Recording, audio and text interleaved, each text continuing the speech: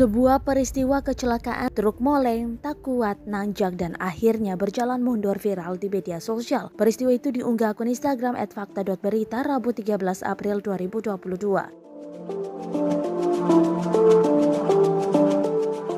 Dalam peristiwa tersebut nampak truk moleng berwarna putih menaiki tanjakan. Namun karena tidak kuat untuk terus naik, alhasil truk tersebut perlahan turun. Nampak seorang pria mencoba untuk menahan laju truk dari samping tempat duduk kursi penumpang. Sayangnya tak tertolong dan mobil truk menabrak pagar beton rumah warga.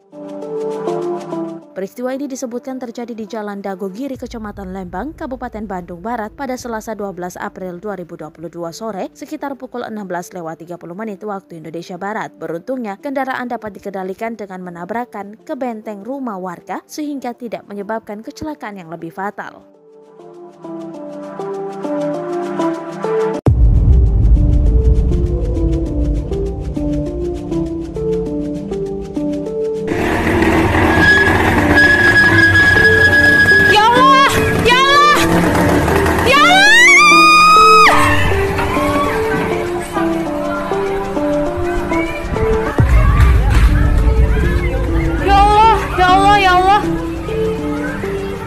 Terima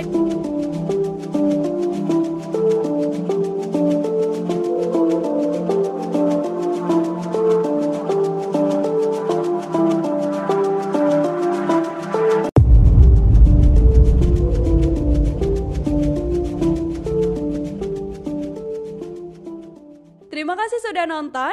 Jangan lupa like, subscribe, dan share ya.